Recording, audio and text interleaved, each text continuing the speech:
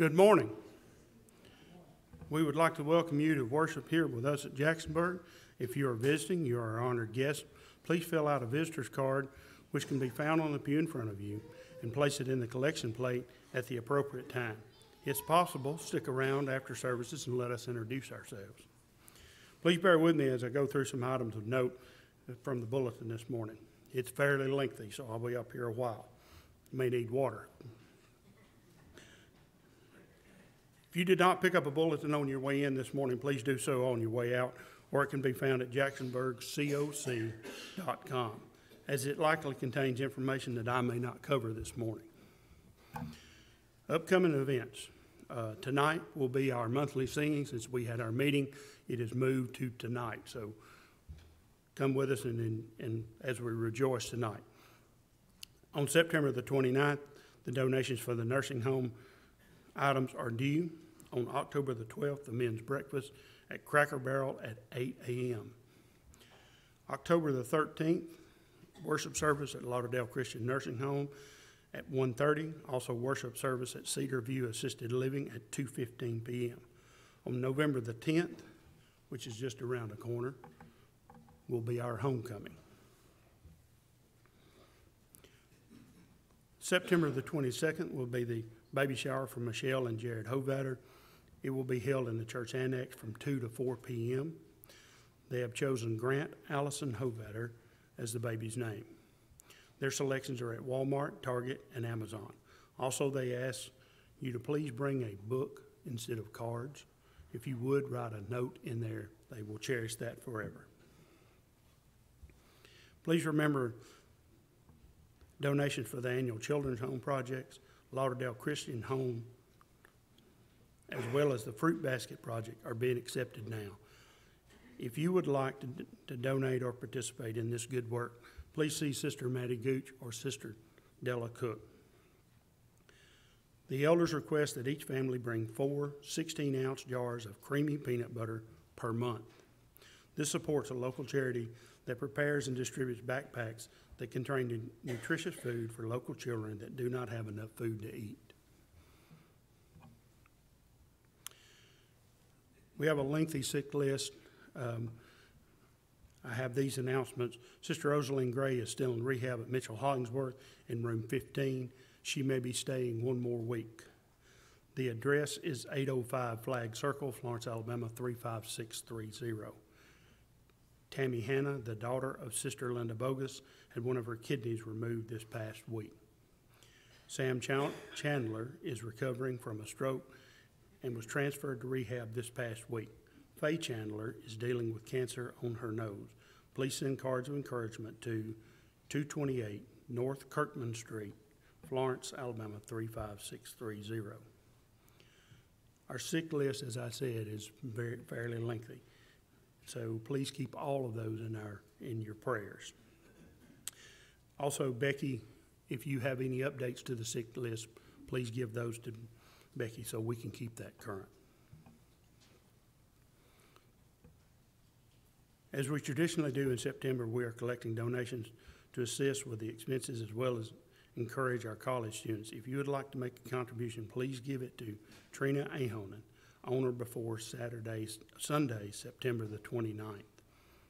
Our college students are Brooke Bain, P.O. Box 418, Mississippi State University, 39763.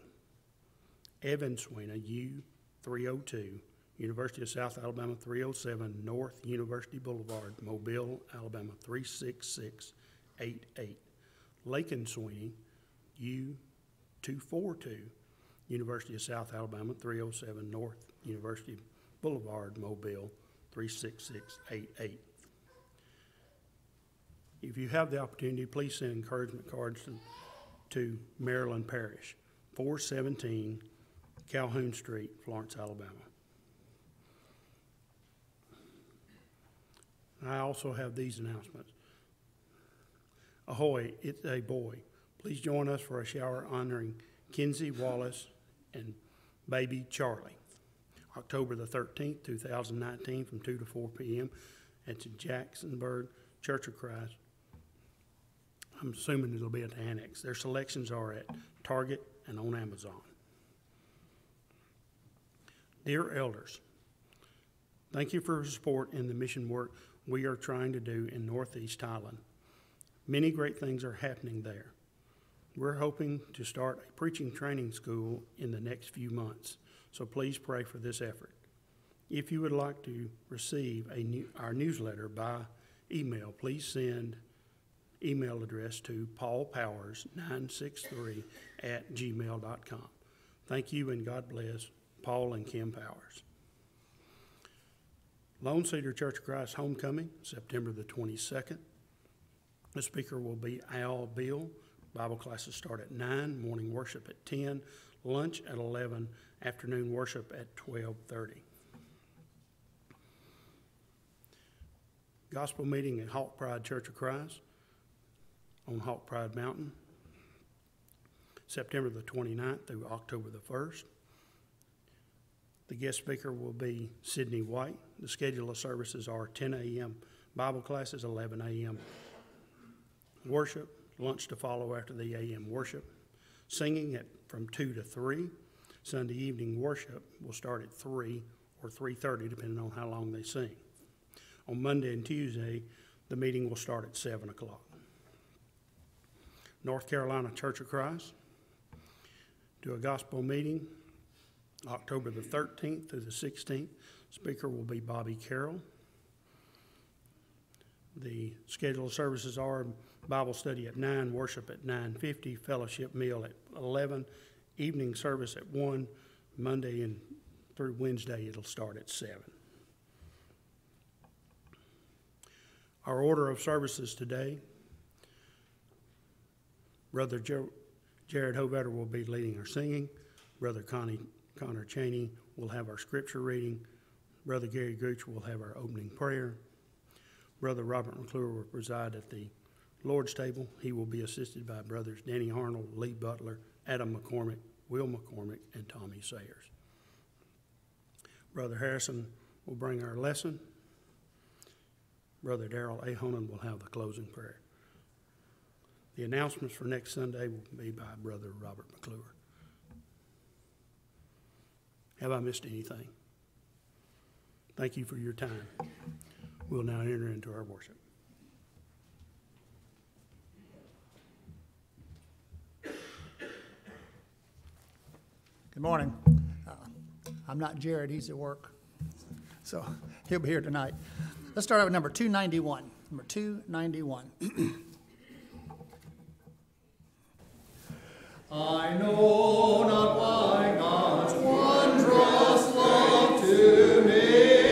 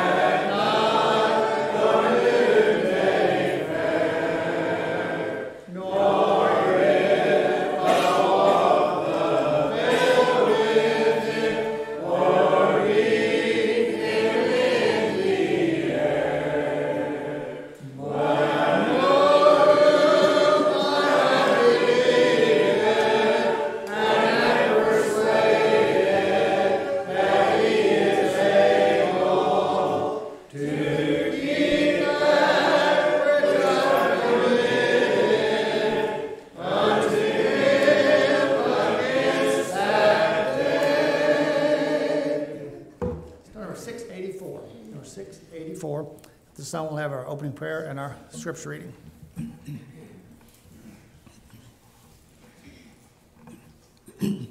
This world is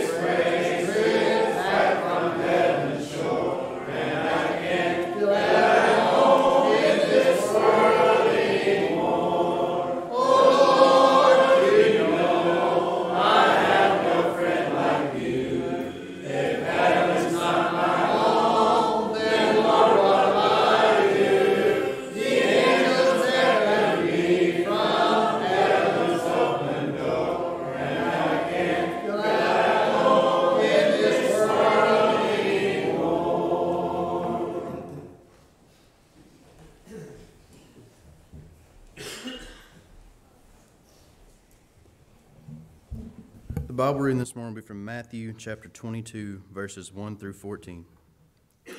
Jesus spoke to them again in parable, saying, The kingdom of heaven is like a king who prepared a wedding banquet for his son. He sent his servants to those who had been invited to the banquet to tell them to come, but they refused to come. Then he sent some more servants and said, Tell those who have been invited that I have prepared my dinner. My oxen and fattened cattle have been butchered, and everything is ready. Come to the wedding banquet. But they paid no attention and went off, one to his field, another to his business. The rest seized his servants, mistreated them, and killed them. The king was enraged. He sent his army and destroyed those murderers and burned their city. Then he said to his servants, The wedding banquet is ready, but those I invited did not deserve to come. Go to the street corners and invite to the banquet anyone you find. So the servants went out into the streets and gathered all the people they could find, both good and bad and the wedding hall was filled with guests. But when the king came in to see the guest, he noticed a man who was there and was not wearing wedding clothes. Friend, he asked, How did you get in here without wedding clothes? The man was speechless. Then the king told the attendants, Tie him hand and foot and throw him outside into the darkness, where there will be weeping and gnashing of teeth. For many are invited, but few are chosen.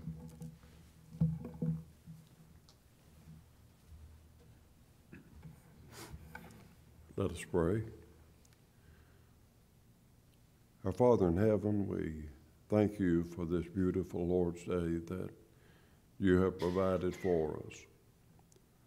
That in accordance with your commandments, we come together as a collective body of your people upon this day to show our praise for you and to glorify your great name. At this time, we're mindful of the opportunities that we have to serve you. And our Father, we pray that we have been good stewards of that which you have provided for us, so that when we live before our fellow man, that they will see our good work and have a desire to come unto thee.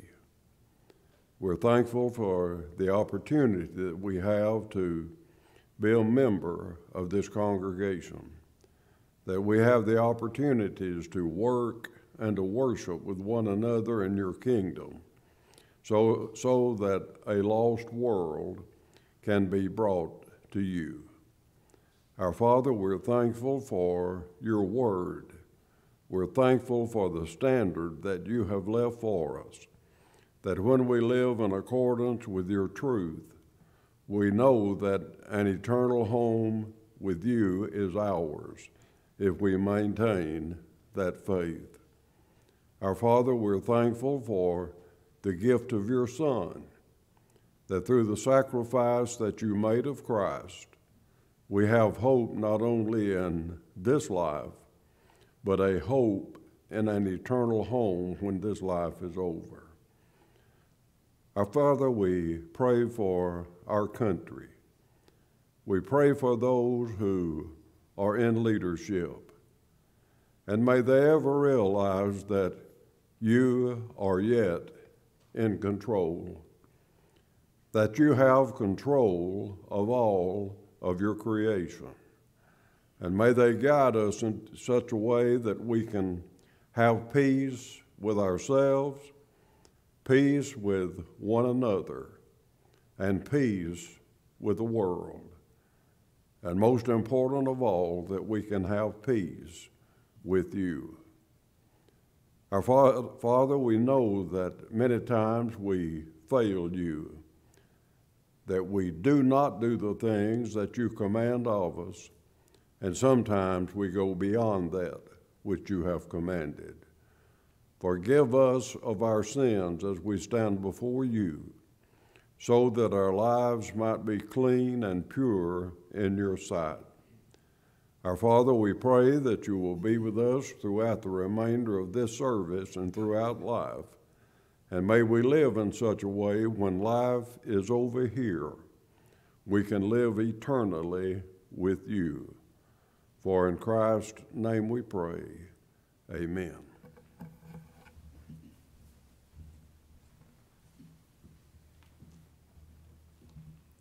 Turn number 287. Number 287. As we sing this song, we want to concentrate on the Lord's Supper and the sacrifices that were given for us. I love the Lord, for he died my soul to save.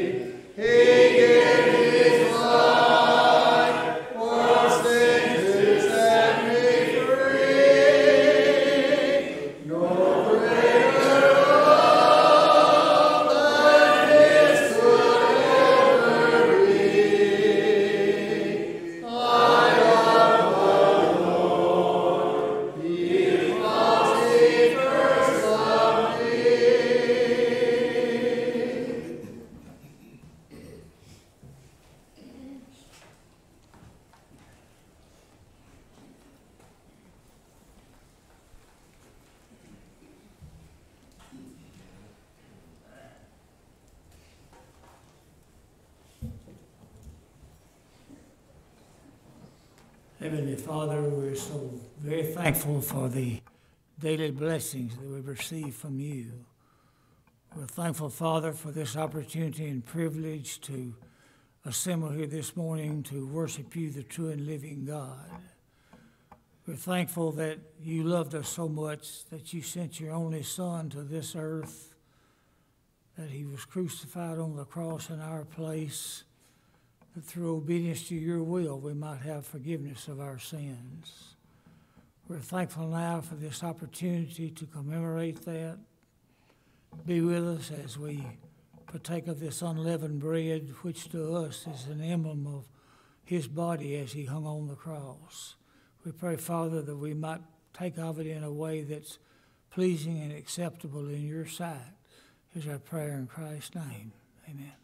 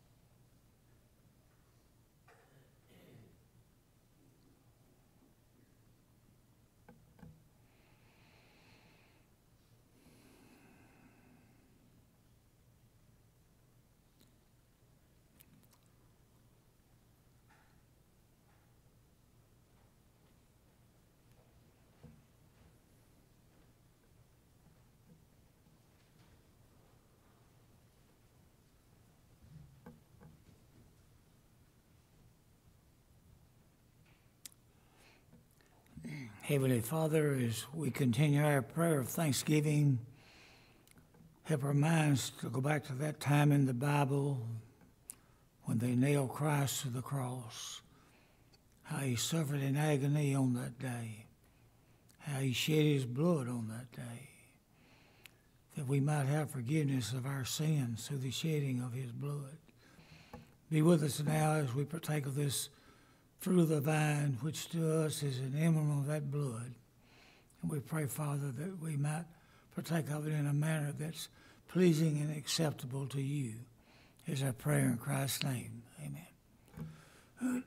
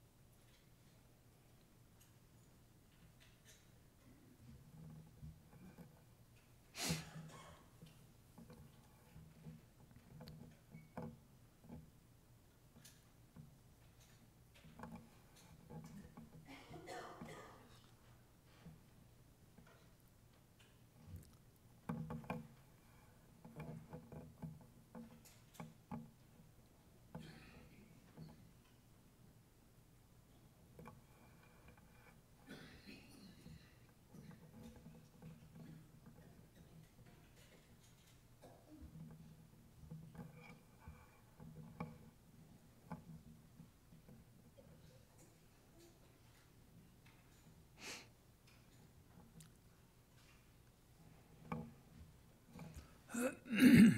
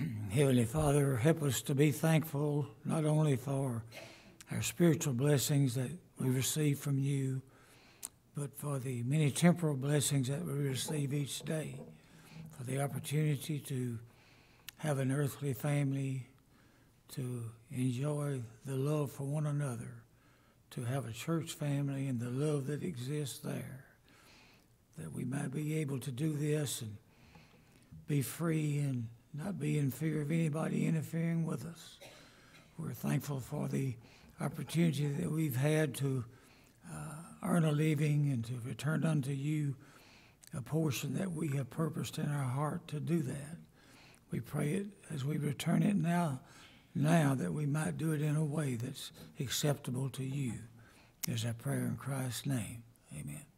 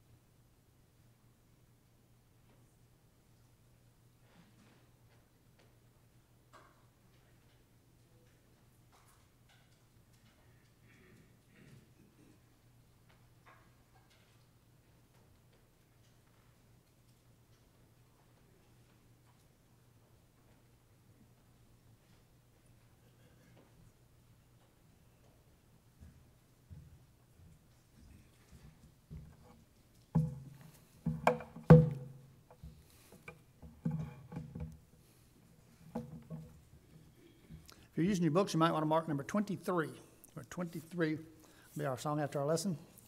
Then turn number 378. 378. Just a few more days to be filled with praise and to tell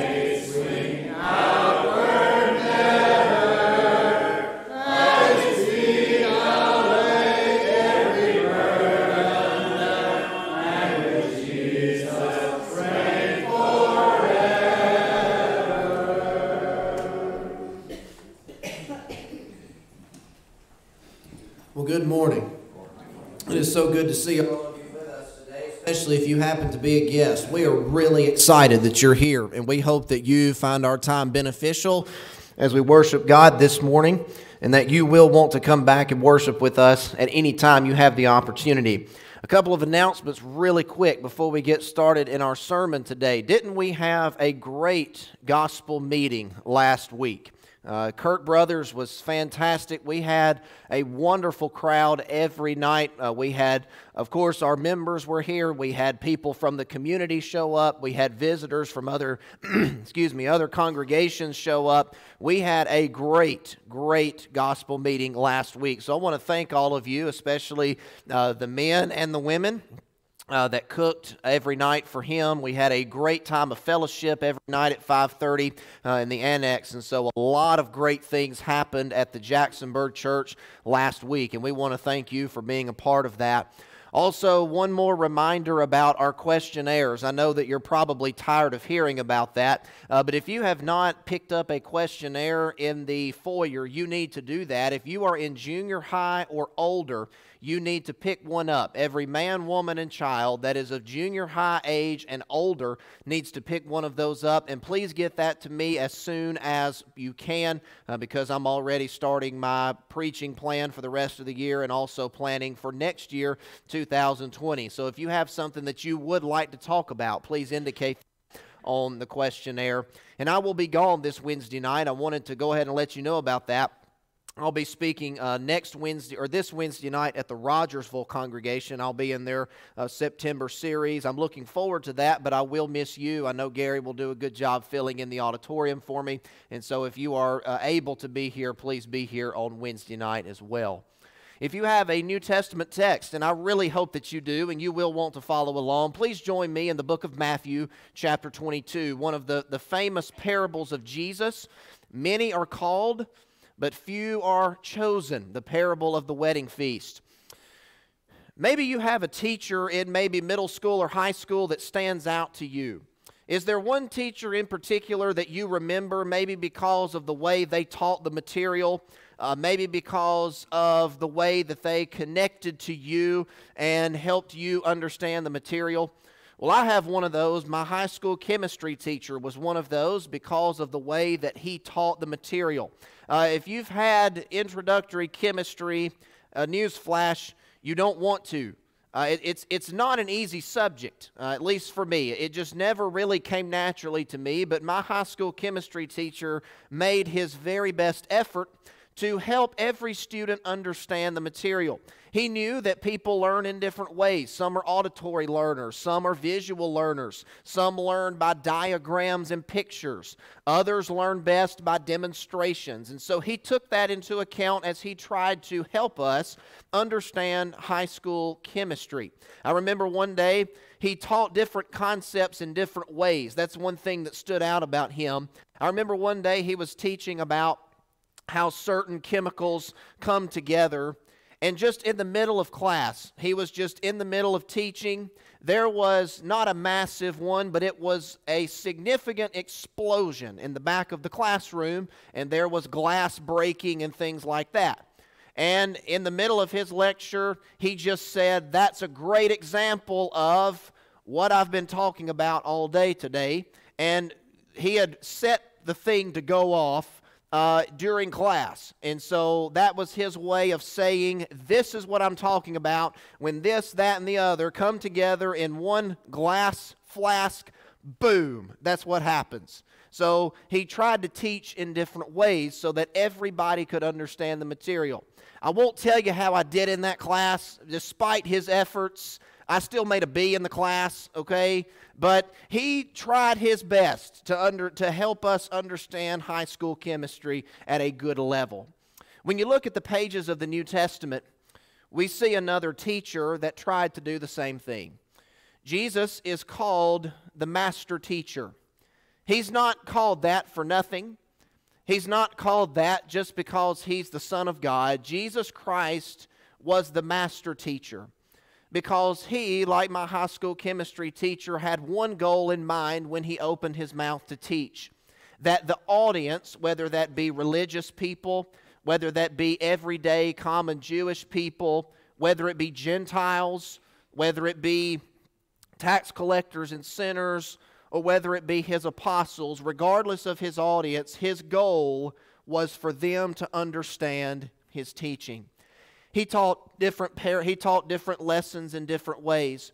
For instance, in Matthew chapter 17, Peter had a question about paying what is called the poll tax to the Roman government.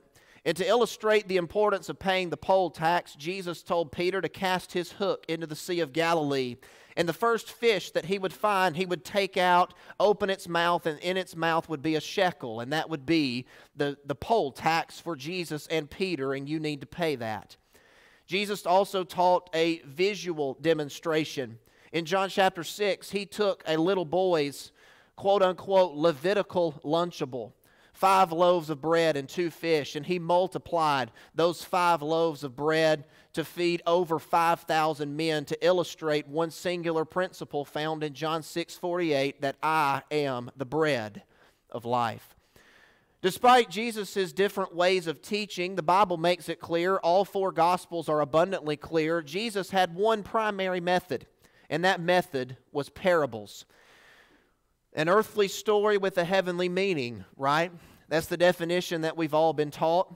But another definition of a parable that I like to rely on is using the known of the physical world to teach the unknown of the spiritual world using things that you can see, hear, touch, and smell to teach things that you can't see, hear, touch, taste, and smell.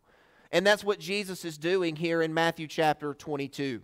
But this text of the parable of the marriage feast in Matthew chapter 22 is strategically placed by our brother Matthew. The contextual flow of this begins actually in chapter 21, beginning in verse 28. Because in chapter 21, verse 28, Jesus is telling a series of parables with a common theme. And the common theme is the Pharisees will reject him and his message. And he uses three different parables to illustrate this. The first one there is, is, is in Matthew chapter 21, the parable of the two sons. Jesus tells a parable about a father who has two sons. He looks at son number one and said, Go work today in my vineyard. The son says, No, I'm not going to go, but he later regrets it and he goes and works in his father's vineyard. He looks at son number two and says, You need to go work in my vineyard today. The son says, I will, and he didn't go. Which one of these did the will of his father? And obviously, the one who did it was the one who actually went and worked in the vineyard. And Jesus uses that story to say that John the Baptist was the one who came preaching and teaching the kingdom of heaven, and you didn't believe him. And because you didn't believe him, you're not going to believe me, and therefore you will not enter the kingdom of heaven. He then transitions in verse 30 to the parable of what we know as the wicked vine dressers or the wicked husbandmen, where a landowner leases his vineyard to some tenants to keep it while he's gone on his journey. And when he comes back from the journey, it's time for him to collect his share of the harvest. And so he sends a group of slaves to get the, the produce that is owed him because it's his vineyard. The landowners mistreat those slaves. They beat them up, and the Bible says they kill some of them.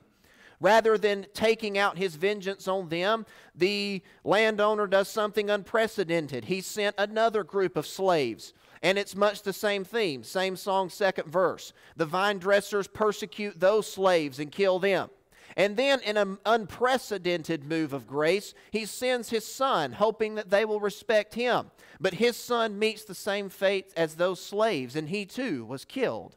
And he illustrates that to say that that's what you're doing to God the Father, and that's what you're doing to me because you are rejecting me. And as a matter of fact, if you look there in about verse 43 and 44, Jesus uses this story to transition to an Old Testament prophecy that says, The stone which the builders rejected has become the chief cornerstone. And so he's using that as an illustration of what you are doing to me, to God, and to the Old Testament prophets. You kill them, you reject them.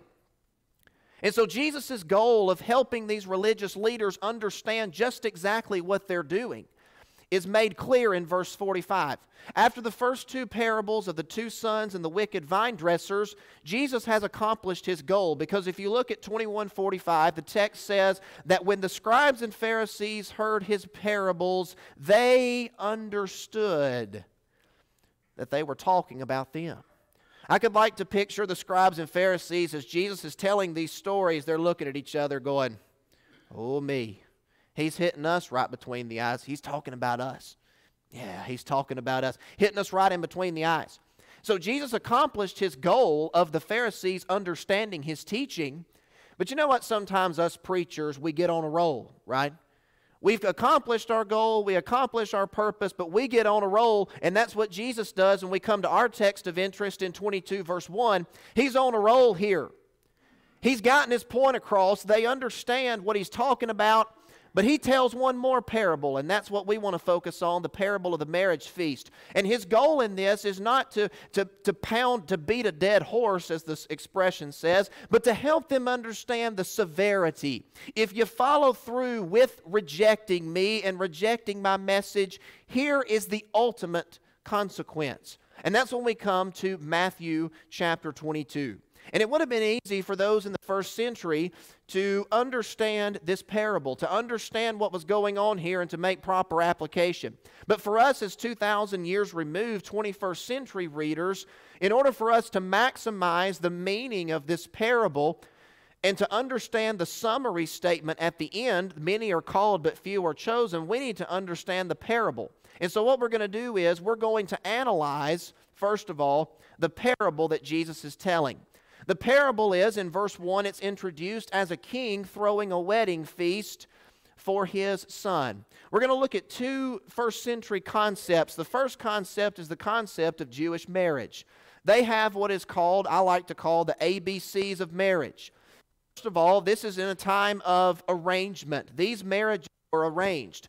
The parents of a newborn Jewish boy, the parents of a newborn Jewish girl would get together and say, you know what? When our children become of age, they're going to get married.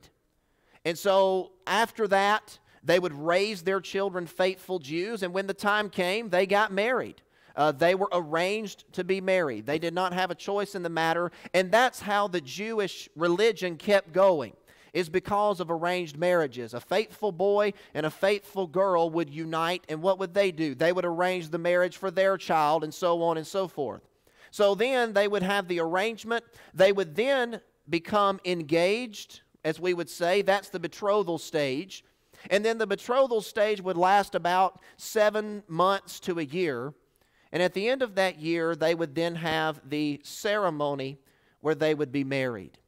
And so when we understand Jewish marriage, we can then dive into the Jewish wedding, the concept of Jewish marriages. You'll see there in verse 1 that a king throws a wedding banquet for his son. That was not uncommon in the first century. As a matter of fact, it was a very common practice for the king to throw the best wedding banquet for his son that he could, hosting over 1,000 people in the palace at one time. And so he would then make the preparation for the wedding. He would prepare all the food. He would have the best wine that money could buy the best meats, the best produce, the best everything laid out at this banquet. And when betrothal began, when the man and the woman would get married or get betrothed, the, the wedding preparation would begin. And immediately when wedding preparations begin, that's when all the invitations are sent out. I think today the protocol is like three months. But in the first century, it was a year. They knew a year in advance when the wedding was going to be, and they needed to be there. So the invitations would be sent out about a year in advance.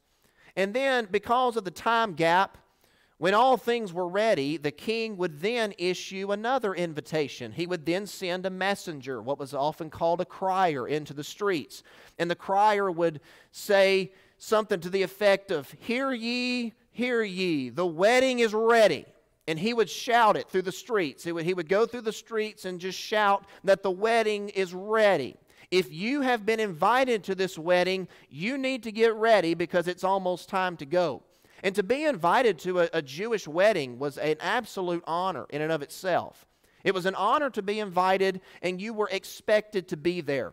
There was no RSVP, All right? In a Jewish wedding, if you invited 80, 800 people, you prepared for 800 people because you thought that all 800 would show up. There was no, we can't come. You went. You put everything else aside so that you could go to this wedding. That's how Jewish weddings worked. And as we look at this story, that concept is really going to be key as we move through this parable. So he invites the wedding guest, and then once everything is ready, the king goes through, he sends the messenger. Then, when the messenger is finished, later on the groom will parade himself through the streets and he will gather then. He would gather the invited guest, he would gather his bride, he would gather the wedding party. And as a group, all of the all of the invited guests, the wedding party, the groom, and the bride would all proceed to the site of the wedding. Now, typically in Jewish culture, the wedding site was the home of the new couple, the place where they would call home. And I am thankful that that is not true today because we would have had our wedding in an apartment. Okay, that would not have been fun because of the cramped space. But for them, especially in this parable, it would be the palace. There would be plenty of room, so they would have plenty of room for everybody else. So then, after all of the wedding guests, the wedding party, the bride, and the groom came to the wedding site, when everybody was there, they shut the door. And even if you were invited, if you were running late, you couldn't come in. That might sound familiar because in Matthew chapter 25, about the parable of the wise and foolish virgins, when the bridegroom came, what happened to the door? The door was shut and those who were outside could not come in. That was Jewish culture. Once the door was shut, you can't come to the wedding, you can't come to the reception because you didn't come to the wedding because you were running late, etc. So that's how Jewish weddings worked in the first century. So as we scroll through this parable to understand the full meaning, let's plug the characters in. Now that we have the concepts, let's look at the characters. Who's the king in this story? Well, the king is God. God is the king, and he's throwing a wedding feast for his son, Jesus Christ. If you look at Matthew chapter 25, verse 1, and other passages in the New Testament, Jesus is presented as the bridegroom. So we know that the bridegroom is Jesus. God is throwing a wedding feast for his son. And he sends out an invitation. Now, who is invited initially to this wedding feast? Well, you can look at other passages like Romans chapter 1 verse 16 that the Jews were the ones who were invited first. So God sent an invitation to the Jews, Matthew 10 verse 7. Go to the lost sheep of the house of Israel. God wanted the Jews to come to his wedding banquet. So he sends out an invitation to those who might be able to come. But the Bible says in verse 5 that they rejected the invitation. You didn't do that in the first century. Everybody at that point would have been like, they did what? And then in verse 6, the messenger that God sent to invite the Jews, who would be who? The Old Testament prophets. They did what? They killed him? They mistreated a slave of the king in the first century that was punishable by death. You were risking your own life if you laid a hand on the king's messenger. So at this time, the people would have been going, They did what? They rejected the invitation and they killed the messenger? What's he going to do? Well, in this story in verse 7, what does the king do? He gets angry. He sends his army and burns their city. Some commentators have suggested that is a very indirect reference to the destruction of Jerusalem in AD 70. So that might be what Jesus is talking about, that ultimately Jerusalem would be destroyed.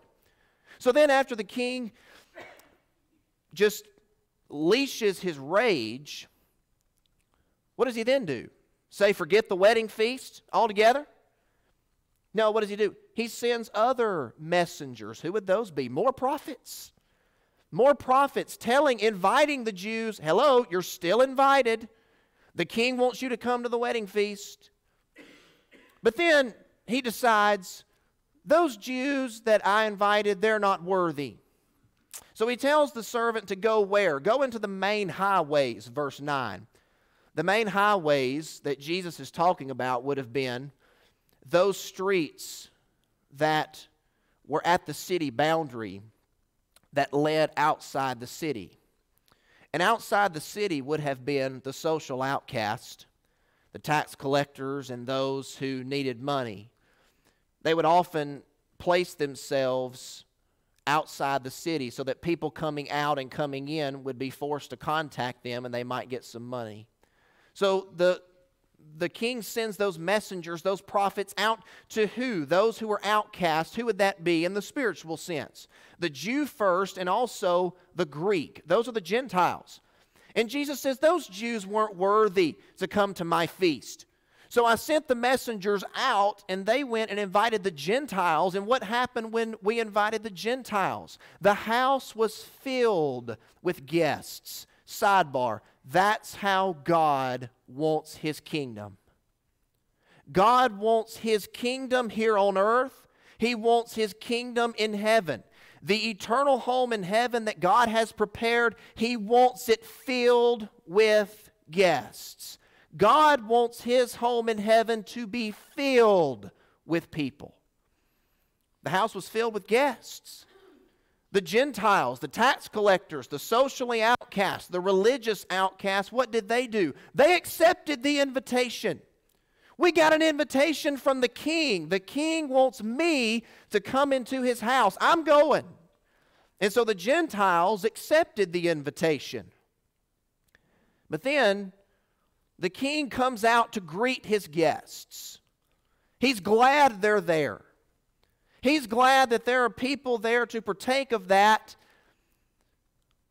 But there's one person who doesn't have on what? He doesn't have on a wedding garment. Now, that's an interesting thing in Jewish culture because there's evidence that oftentimes, if the king was the one throwing the wedding banquet, he would provide them clothes to wear. There's an interesting story found in 2 Kings chapter 10, verse 18, where Jehu, one of the good prophets or the good kings of Israel, he tells the worshippers of Baal that he's going to offer a big sacrifice to the god Baal. He says that Ahab in verse 18 served Baal a pretty good bit, but I'm going to serve him much. Every worshiper of Baal needs to be here because I'm going to offer the best sacrifice to Baal that there is. And it says that when the worshippers of Baal came, Jehu said, Make sure that nobody is left. Every worshiper of Baal needs to be here. And it says in about verse 21 that Jehu then gave them, gave them garments to worship Baal in. If you go on to read that story about verse 23, it was basically a disguise. Jehu had men stationed outside to then kill all the worshippers of Baal once they had been assembled together. But that's the concept the king would provide wedding garments. And to not wear those wedding garments to a wedding that the king had provided for you would have absolutely been a slap in the face to him. It would have been an insult to him. Not only has this king been rejected by the invitation, that would have been insulting enough. But now somebody has come in, accepted the invitation, and not worn the clothes that the king has prepared for him. And what does the king say? As a result of that, this man who did not have a wedding garment received the strictest punishment of anyone in the three parables that we've looked at the two sons and the wicked vine dressers. What happened in the parable of the two sons? Well, Jesus just used that to say that because you rejected me, you're not going to enter the kingdom of heaven. Then, in the parable of the wicked vine dressers, what was the indication there? You've rejected me. And Jesus says, I'm going to give the kingdom to someone that is worthy, someone that will actually accept my invitation. And then, right here in verse 22, what does this man who doesn't have a wedding garment on, what happens to him? He tells the servants to bind him hand and foot and throw him into outer darkness where there will be weeping and gnashing of teeth spiritually speaking, what happens to this person who is in the wedding hall, but he doesn't have on a wedding garment? He is cast into hell. The most severe punishment. So Jesus is saying then, what's the ultimate end? If you decide to reject me and my message, what's the end for you? Don't focus on the fact that I'm going to take the kingdom and give it to somebody else who's worthy. Don't take it on the fact that the tax collectors and the prostitutes and the harlots will enter the kingdom of heaven before you. Don't focus on that. What are you to focus on? What's the penalty if you reject me? What is it? Being cast into hell. That's pretty bad. It's about as bad as it gets. And then Jesus issues his statement from which we get our application this morning. Many are called, but few are chosen. So now that we've analyzed it, we've looked at the, the concepts and the characters to, to fully understanding this story. What would have been going through the minds of the religious leaders? How do we apply this to our lives? What are some applications that we can make? Number one, we need to come as we are to receive the wedding garment.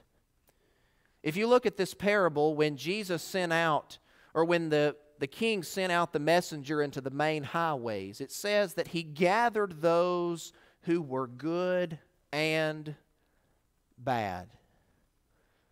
It didn't matter what they had done. It didn't matter what sin they had in their lives. It didn't matter what they had done, how many people they had cheated, how many people they had slapped in the face. It didn't matter. They all came into the king's house. Have you ever heard somebody say that I have too much sin in my life, God can't forgive me? Or I've done one bad thing. It, it, you just don't understand how bad it is. There's no way that God can forgive me. We don't see that mentality here in Matthew 22. Those who accepted the invitation, it didn't matter. The invitation was extended to those who were good and bad. And what did they all have in common? They all accepted the invitation. They came as they were. The wedding garments, we'll take care of that later. But you come as you are to receive the wedding garment. Spiritually speaking, there is no one in this room, nobody, who is too sinful to put on the wedding garment of Christ. There's nobody. There is nobody in this room that is too sinful to reject the invitation that Christ gives us to come to his feast. Paul put it this way in 1 Timothy chapter 1 verse 15 that I am the chief of sinners. I am the chief of sinners. And God saved me is what he's saying in chapter 1 verse 15. If I can come to Christ if I can be transformed by Christ's example, by His grace, anybody can because I'm the foremost of sinners. Question is, what's holding back from coming and receiving a wedding garment? You might be asking, well, Harrison, what is, what's the wedding garment? What is it that I'm supposed to put on? Paul makes it clear in Galatians chapter 3, verses 26 through 29. He says that for all of you, my translation says, for all of you, all of you, doesn't matter if you're good, bad, etc. For all of you that have been baptized into Christ have put on Christ. In verse 28, there's neither Jew, Jew nor Greek, slave nor free, male nor female, bond or free, for we are all one in Christ. What's the wedding garment? the blood of Christ. The wedding garment is the blood of Christ. And there is no one here this morning that is too sinful to receive it. Come as we are to receive the wedding garment. Second of all, what's the, what's the second application? In order to be chosen, we need to stay clothed with Christ. We don't need to put on that wedding garment and for whatever reason just take it off because we feel like taking it off. In order to be chosen, to be one of those who are chosen by Christ as faithful, we have to stay clothed with Christ. The word chosen there in verse 14 is translated as the word eklektos, which is, you can probably figure out what English word we get from that. It's the word elect or the word chosen. And it's often used by Jesus to indicate those who are his true disciples. That's what it means. Those who not only put on Christ in baptism, but stay the course, who are faithful to the end, who are then true disciples of Christ. Many are called, but few chosen. See what Jesus is doing here? This parable uses a conventional physical custom of a wedding to illustrate the unconventional kingdom truth that many people are called. The invitation is extended to everybody to come to God's wedding feast. But there are only a few who will accept it, and even fewer that Christ will choose as his elect. The question is have we put on a wedding garment? Are we ready to come to God's abundant feast? He's invited every one of us. Every one of you are invited to the abundant spiritual feast that God has prepared, which is an eternal home in heaven with Him, and we've talked about that. The invitation has been issued. Jesus Christ has come and said, Everyone is invited to the wedding feast of God. Everyone is invited to spend eternity with God. The question is have you accepted the invitation? Are you ready? Are you ready?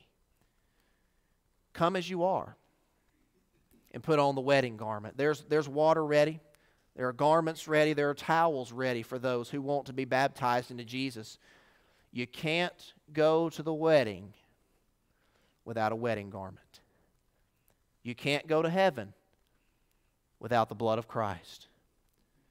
And all we have to do is to come as we are. Maybe there's someone here that has shed the wedding garment. Maybe you were wearing it at one time. Maybe you were living a life that was clothed with Christ, but you've taken off the wedding garment. Let's put that back on this morning. Let's put that back on. Get yourself ready to spend eternity in God's wedding feast. All things have been made ready. Come to the feast. Right now, together we stand and sing. All things are ready. Come to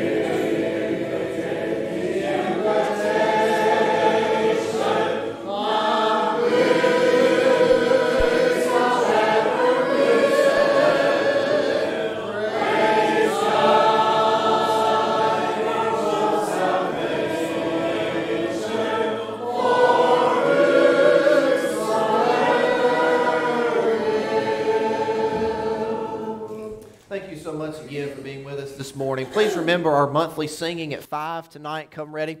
We'll blend our voices and praise God together. Have a great afternoon. We'll see you then. Start over seven fifty-six. Seven fifty-six.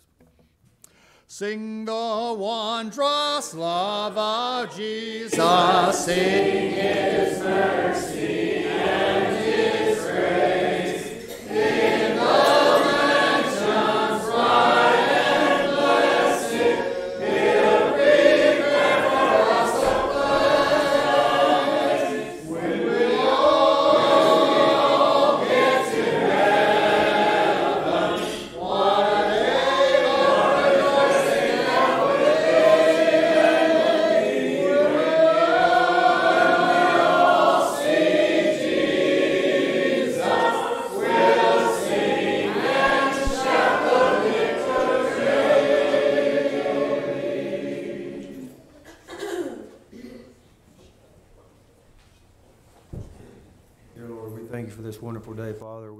church here at Jacksonburg. Father, we thank you for all the members that we have here, Father. Dear Lord, be with Harrison as he keeps presenting wonderful lessons from your word, Father, that we can apply them to our lives daily. Dear Lord, be with all the ones that were mentioned. Get them back to their normal walks of life, as thy will. And most of all, Father, we thank you for Jesus. In his name we pray. Amen.